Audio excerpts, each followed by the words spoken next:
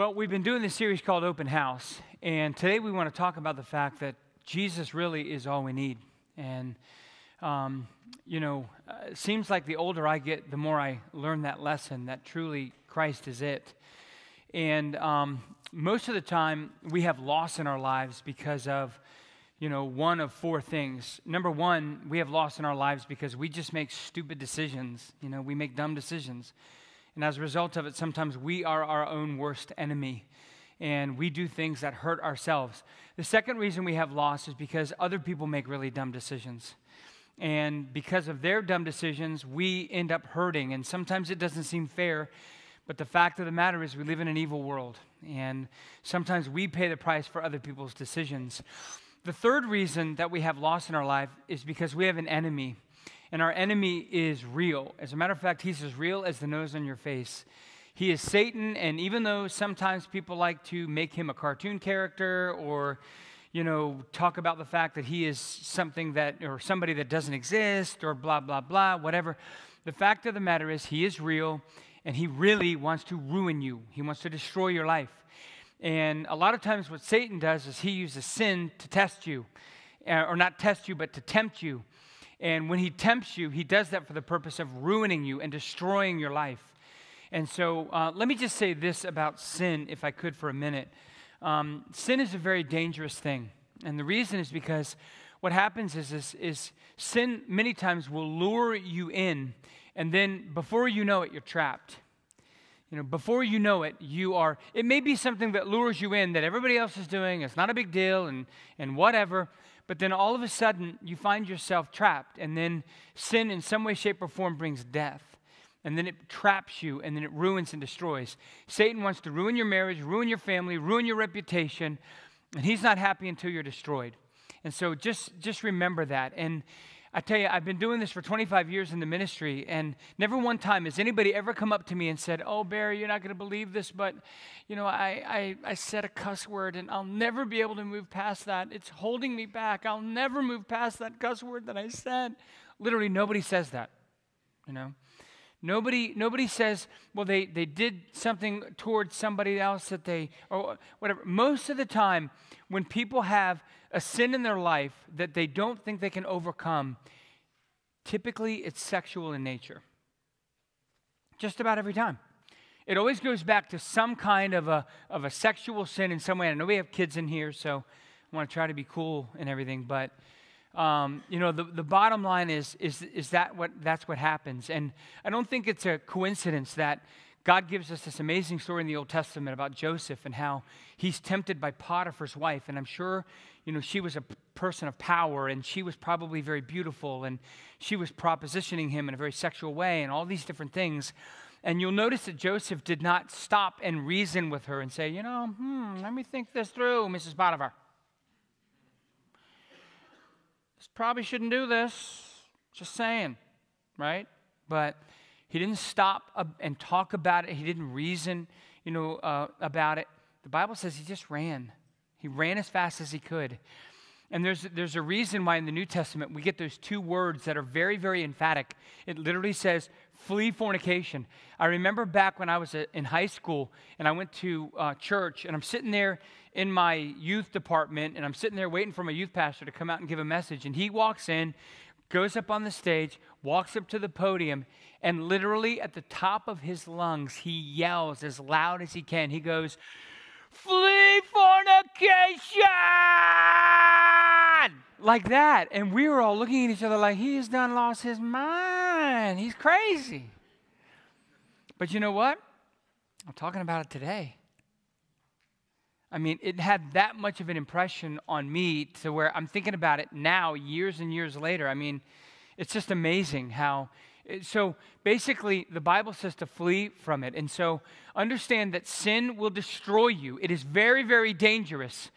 And so you have to understand that um, we have an enemy that wants to ruin us through temptation. Now, the fourth reason we have loss in our lives is because we have a God that wants to strengthen us. And a whole lot of times, God will uh, test us in order to strengthen us. And sometimes the test that God will bring in your life is loss. And sometimes it's a profound loss. And you're going to have every opportunity to get ticked off at God and yell at God and scream at God and get angry at God. And God is just saying, hey, listen, relax, trust me.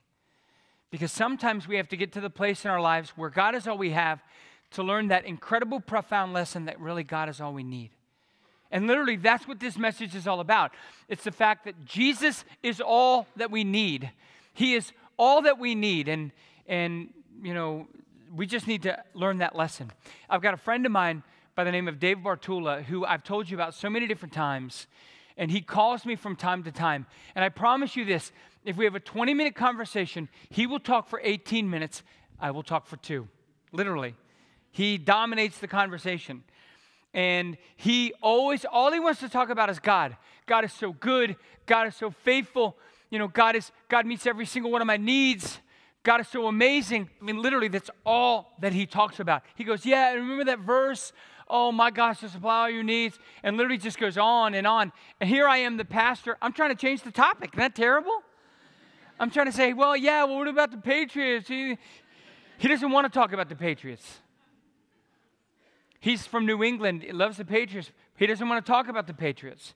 He, I say, Yeah, well, how's your wife doing? He'll talk about her maybe for a little bit, but then he's right back over to God. Yeah, she's great, but isn't God amazing? and like blows me away every time he calls. So let me tell you this. Three weeks ago, his daughter was brutally murdered. And I've told you about him so many different times, so you know about Dave Bartula. His daughter's name was Jen. She was 30 years old. She had two precious little kids, and somebody took her life. So I was able to talk with him on the phone, you know, after I found out about it and all these different things.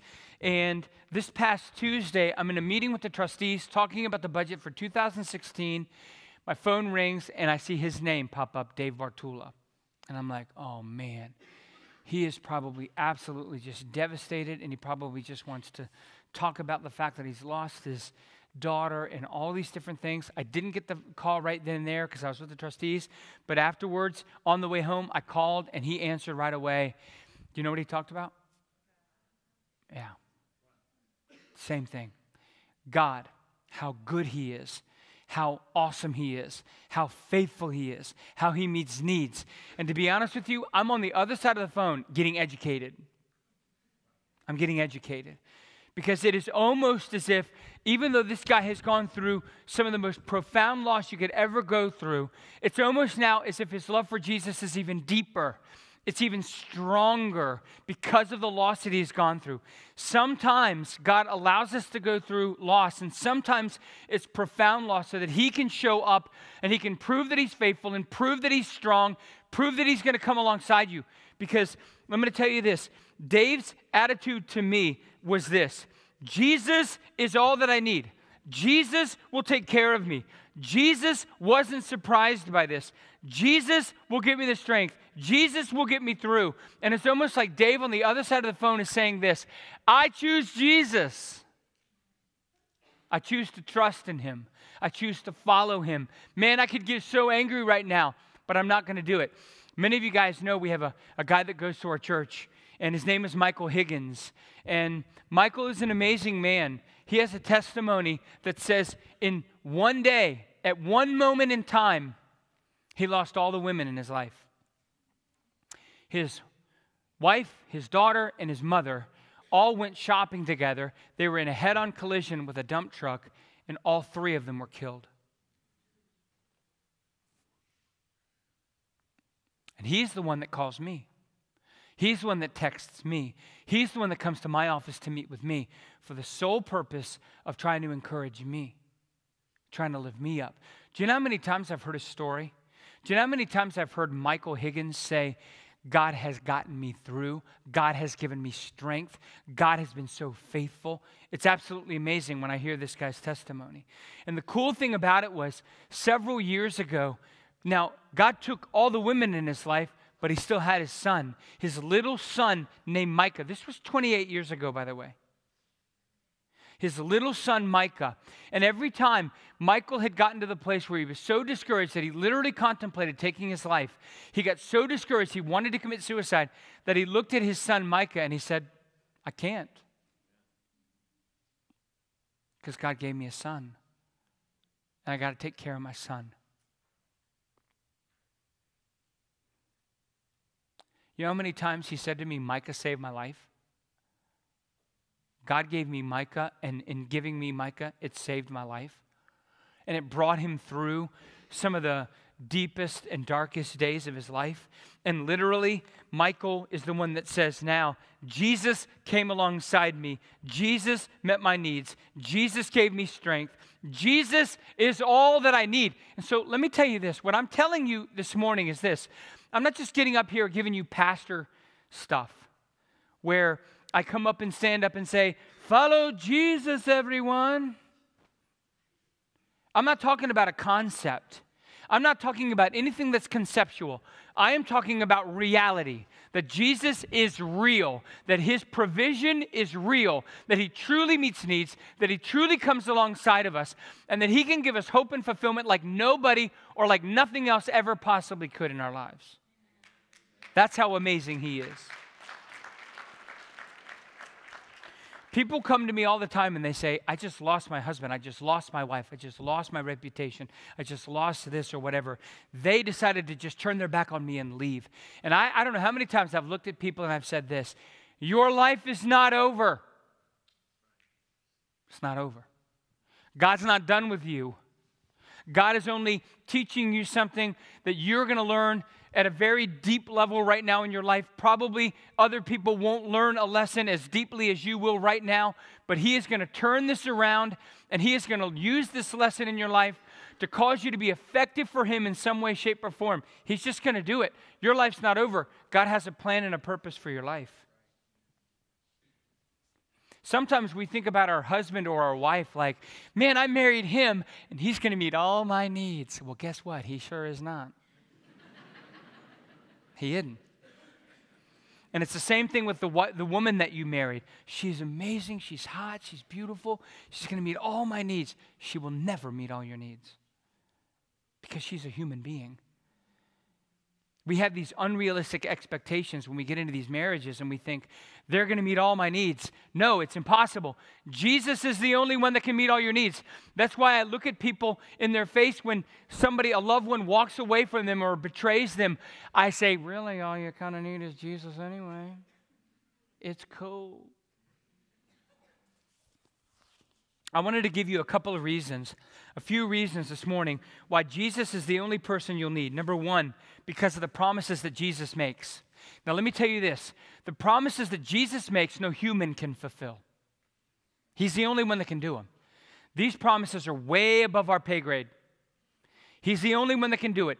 Only these are God sized promises, and it takes God to meet these, these uh, keep these promises in our life. For example, in Matthew 11 29, when he says, Not only will I give you rest, but I'll give you rest for your soul, no human being can do that.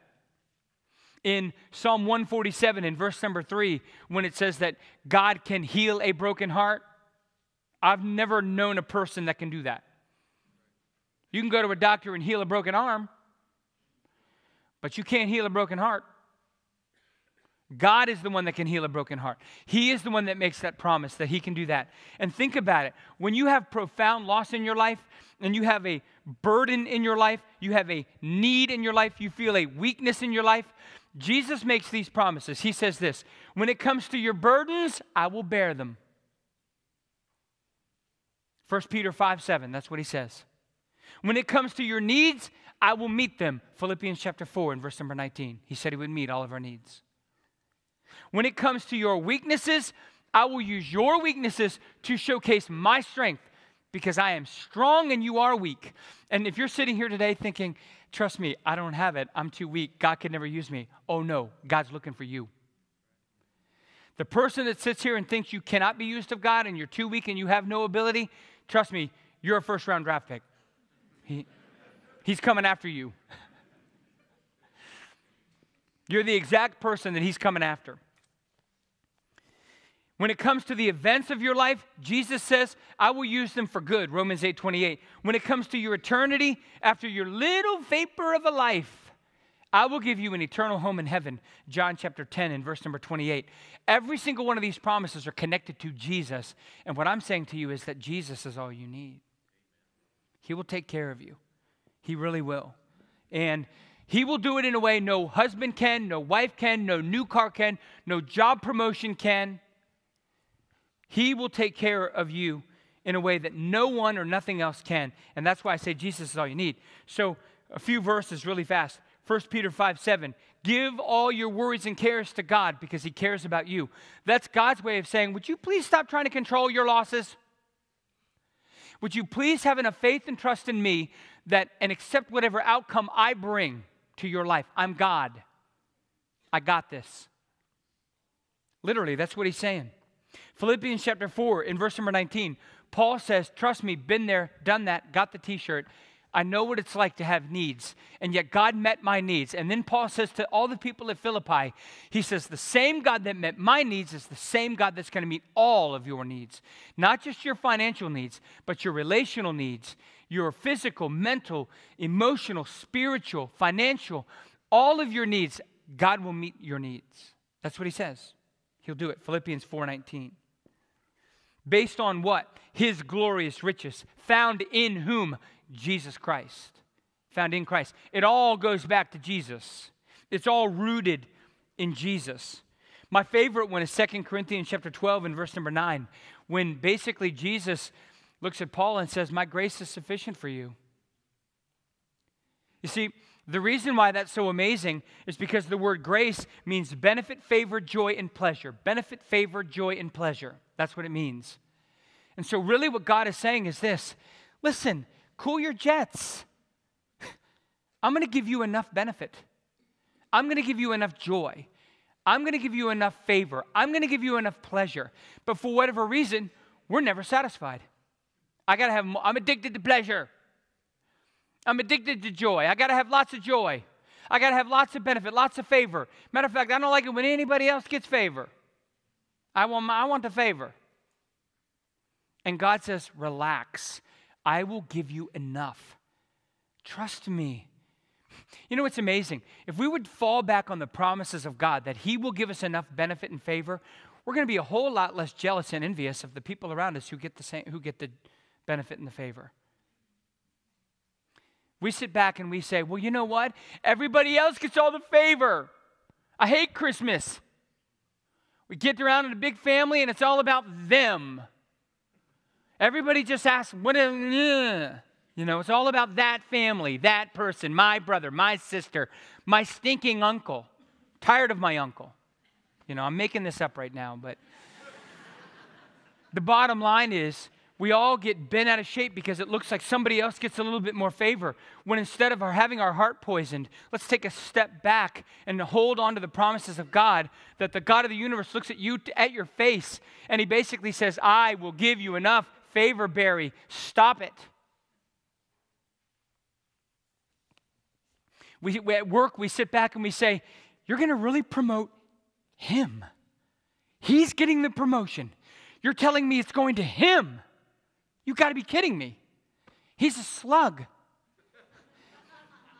this company is on my back, and he does nothing, and you're giving him a promotion.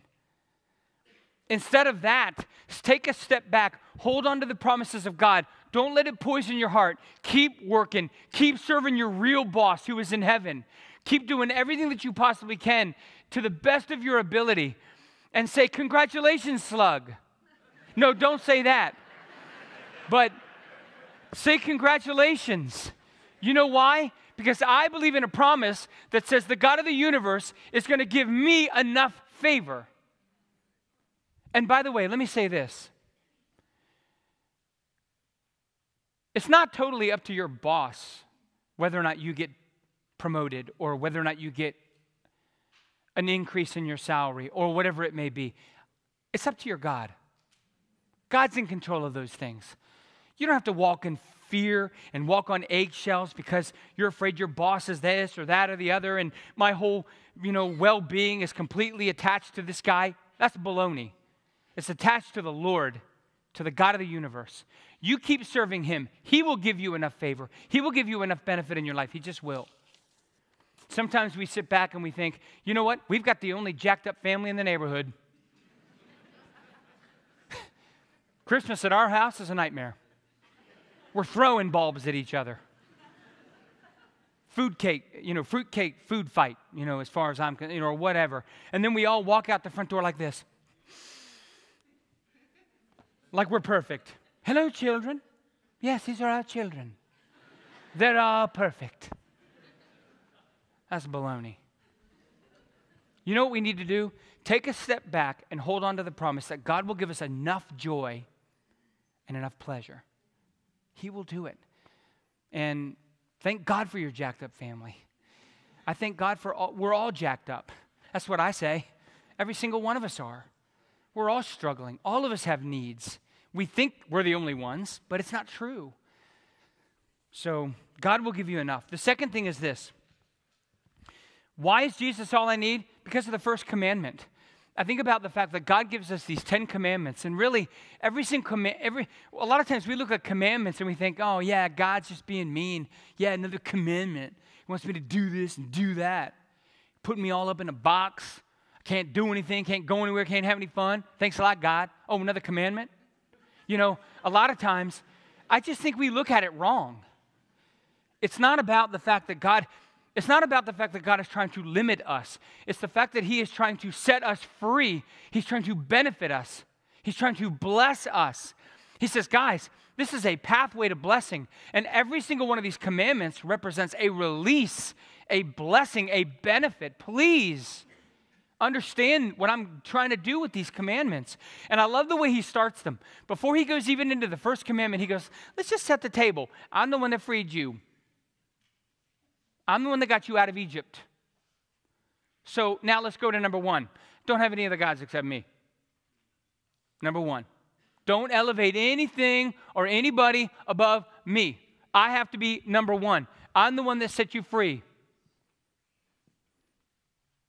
I love how he gives that to us. So here's the thing a teenager that worships attention and will do anything to get attention. Let me tell you what that is it's dangerous. It's dangerous. It's dangerous when you take the love for attention and put it above your God, as if God can't give you enough of what you need. The woman who worships romance to the point of trying to get romance outside of her marriage, let me tell you what it is it's dangerous. The man who worships pornography and sex and then tries to get those desires fulfilled outside of his marriage, let me tell you what it is it's dangerous. It's dangerous to take anything and elevate it above God and to not trust Him. And it's almost as if God is saying, guys, listen, here's what I'm trying to do. I'm trying to save you a lot of heartache. I'm trying to save you from disappointment after disappointment after disappointment because we have a tendency to go to all the wrong places to find hope and fulfillment, and never, it never satisfies. God's just trying to save us a whole lot of trouble and saying, Look, put me first and you won't be disappointed. I love that verse in Romans chapter 10 and verse number 11. It says, Whoever believes in Jesus will never be disappointed. Whoever puts Jesus first in their life and says these words, Hey, you know what? He's all I need. That's how I direct my life. That's how I make the decisions in my life. It's Jesus. Because every time we elevate something above God, we always get disappointed. The last reason, right before we as a church family have communion together this afternoon, the last point is this Why is Jesus all I need? Because of the life of Mary and Joseph and their example. They show us absolute, as clear as a bell. They teach us in the way that they acted, in the decisions that they made, that it was Jesus and Jesus first in their lives. So, Mary's pregnant. She's pregnant by the Holy Spirit, which doesn't happen at all, ever. So, because of this incredible miracle that's happened in her body, she now, you know, has, she can, she's going to make a comment. She's going to say something. And she could have easily said, okay, uh, no one's going to believe me. So everybody's going to think that I've been promiscuous. Everybody's going to think that I cheated. Everybody's going to think that I did wrong because there's no, I'm going to say, no, really, you're not going to believe this, but it was the Holy Spirit. It was nobody else. It was crazy. It's this amazing thing. They're going to go, yeah, right. She could have said this I'm going to lose my fiance, and I love him. He's amazing. He's the kindest, most godly man that I've ever met in my life. And he's going to freak when I tell him this. There's literally no way he's going to believe me. Literally, everything was on the line for Mary when she found out this information from the angel. And here's what the Bible says that Mary said. She didn't say any of those things. This is what she said Luke chapter 1 and verse 38. The interesting thing about it was this what she said flowed out of who she was. What she basically says is First, let me tell you who I am. First, let me tell you, so many people come up to me all the time. They say, What should I do? What should I do? What should I do for God? What should I do for God?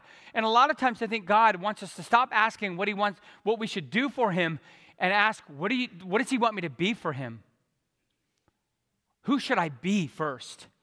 Because doing always flows out of being, always.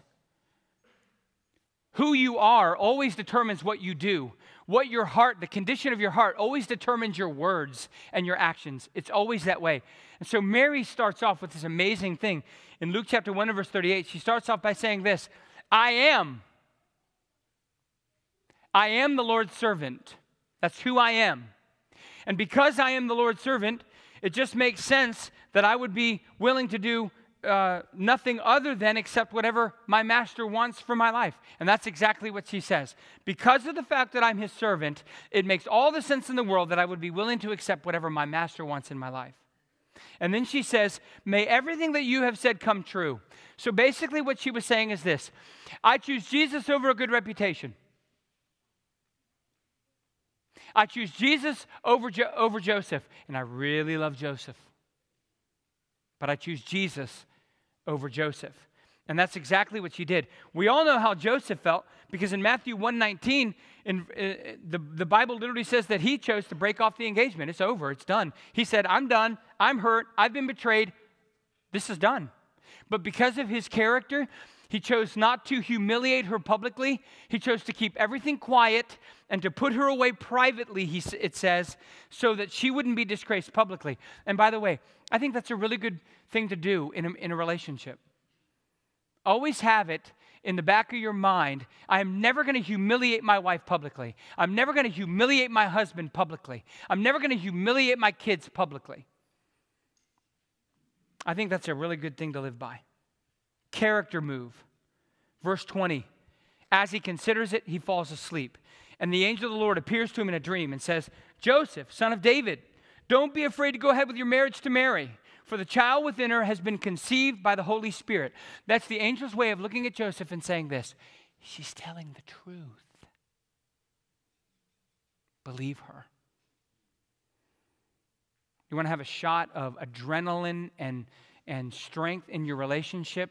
Then believe your wife. Believe your husband. Believe your kids. And you're like, my kids, I can't believe. No, oh, whatever. Have trust in them. So Caesar makes this decree that everybody in the Roman Empire needs to participate in the census. So everybody has to return back to their home of origin. And since Joseph was of the house and lineage of David, he had to go back to Bethlehem.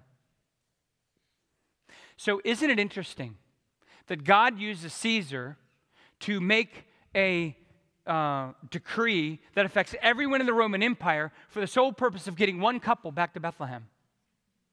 Because literally, the prophet Micah had said hundreds of years before that the Messiah would be born in Bethlehem. There was only one place that he could be born, and that was Bethlehem. We got to get the couple to Bethlehem. And that's what happened. My question to you is this when you go back to Bethlehem, which is your house of origin, which where you have a lot of family, let me ask you, when you guys go home, back to home, wherever home is, do you typically stay in a hotel? No. I mean, your parents or your mother or your brother or whatever would probably be a little offended. Yeah, thanks for inviting us, but we'll be in a hotel. That would be a little offensive. Who in the world goes back to their home and stays in a hotel? I'm guessing probably somebody who would rather not put up with judgmental stares. Probably someone who would rather not deal with nosy questions about what's going on. Remember, when they made the trip from Nazareth to Bethlehem, she was great with child. So she's going around like this. she got a baby. She's about ready to pop. And Joseph's not going to be able to hide that. He's not going to be able to go like this the whole time. Get behind me, Mary. Hi. Merry Christmas. Oh, I guess that was the first Christmas.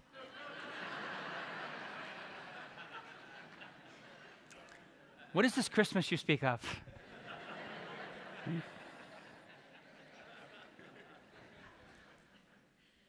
The problem is all the hotels were booked. They couldn't get in anywhere. And the reason was because everybody was coming back to their home of origin for this ridiculous census, right? That had just the wrong time. Only was it the wrong time? Perfect timing. God was using, he was, he was executing his will perfectly, his timing perfectly. And it just makes all the sense in the world that the only place left was a stable. It makes all the sense in the world that the Lamb of God would be born in a stable that the bread of life would literally be laid in a food trough, and that he would be born in a town that literally means house of bread. Because that's exactly what happened.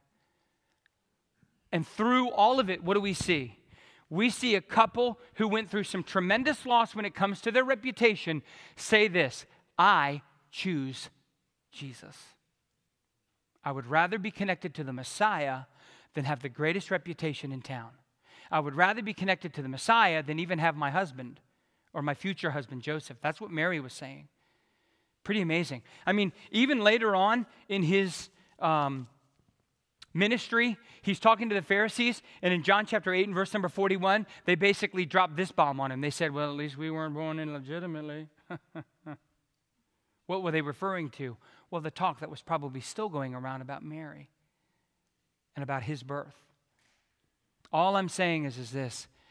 We see in their lives, in the promises of God, and in all of these different things we've looked at today, the fact that Jesus really is all we need. What I want to do now is ask the ushers if they would come and help us with the uh, communion. We're going to pass out a piece of bread to you, and we're going to pass out a little cup of grape juice. And I'm going to ask you if you would be so kind as to hold the bread and hold the grape juice while we're passing that out so we can all partake of communion together as a church family. So, here's, here's what I want to say while they're passing out the bread and the grape juice. I wanted to say that anytime you choose Jesus over someone or something else, it's a really, really, really good decision. It's a great decision because you can't possibly be discouraged or let down or unfulfilled if you choose Jesus. Every other choice leaves you empty. Every other choice leaves you unfulfilled. Every other choice does. So here's the thing we have a family in our church. They're named the Harveys. You probably know Bill and Debbie real well. They have this uh, organization called Helping Haitian Angels. And when they first started this organization, there was a board that they had. And the board said, We want to meet with you, Bill and Debbie. And they said, Okay, great. What's it about? Well, it's about taking a vote as to whether or not we're going to keep Jesus in this organization. Because we don't think it ought to be about Jesus. If we make this about Jesus, we're going to lose a lot of money. We're going to lose a lot of big donors. And so it would be so much better if we just kind of set Jesus aside when it comes to this organization. Debbie stood up and said, No, we're not doing that. We're not taking Jesus out of this. And isn't it amazing that over time, most all of those board members have all left and are gone. And Jesus has taken a hold of this ministry called Helping Haitian Angels and has blessed it beyond belief. He has hand over fist given them donations and they've got land and they're building buildings and they're helping hun- you know tons and tons of people and kids and educating them and feeding them and clothing them and giving them Jesus. And I'll tell you something, but it started with a woman who had the guts to stand up and say, No, we will not take Jesus out of this organization. Jesus is all we need. Jesus is the most important. Jesus is the one that has all the power. Jesus gives us eternal salvation. Jesus, literally, is the way, the truth, and the life. Thank you so much, Dave. I appreciate it, bud. Jesus is the one that bears our burdens. Jesus is the one that meets our needs. Jesus is the one that gives us strength. Jesus is better than any person we could ever choose. He's better than our reputation. He's better than pornography. He's better than a job promotion. He's better than a bigger house. He's better than a new car. Choose Jesus. That's what we're about today. Choose Jesus. And if you've already chosen Jesus, then choose to obey him and give him your life and follow him with everything. So, what Jesus basically did was this He brought his disciples together and he said, Listen, I'm getting ready to do something that's going to split all of time into two, basically. He didn't say that, but that's what he was doing. I'm getting ready to make the greatest sacrifice in the history of earth, and I don't want you to forget it. I am shedding my blood, and I am going to have my body broken. It would have been easy for Jesus to be king. It's simple. Simple for him to be king. It's simple for him to conquer one empire and save one generation of people. Instead, he decided to conquer the greatest enemy of all, which is sin, death, and the grave, and to benefit every man, woman, and child that ever has lived or ever will live. That's what Jesus did. And every drop of blood that was ever shed in the Old Testament was nothing but a foreshadow or a picture of the greatest sacrifice that will ever be given, and that's Jesus. Those sacrifices were incomplete and they had to be done over and over and over again. Jesus' sacrifice was complete. He died once for sin for all. That's how amazing it is. And he said, I don't want you to forget it. So, what I want you to do is every once in a while, I want you to take a piece of bread and I want you to take um, the fruit of the vine and I want you to Remember the blood that I shed for you, and remember my body that was broken for you. And I want you to remember how much I love you. And so that's what we're doing. And it gives us an opportunity to do two very important things. The first thing is this if you're here today without Christ, I would ask you a simple question Why would you receive the symbolic Jesus before you receive the real Jesus? You see, this is a piece of bread and this is a, some grape juice. They just bought it at a Giant. It's not going to save you, it's symbolic. Revelation 1 5 says the only thing that can wash away sin is the blood of Jesus Christ. And so this is a picture of his blood. It's an object lesson, it's a symbol of his body. So I want to ask you if you'd bow your heads and close your eyes for just a minute. And if you're here today and you've never put your faith and trust in Jesus, well, today's the day. Today's the day to receive the greatest gift of all, and that's Christ. I want to ask you with simple faith to pray a simple prayer and invite Jesus into your heart right now. Why don't you pray something like this Dear Heavenly Father, I want you to know that I believe. I believe. I believe that Jesus died on the cross for my sins. I believe that three days later he rose from the dead and that He did it to pay for my sins. I admit it. I'm a sinner. Please forgive me. Please wash me clean. Please give me a second chance. Please change my life. I receive the real Jesus into my heart right now by faith. In Jesus' name I pray. Amen.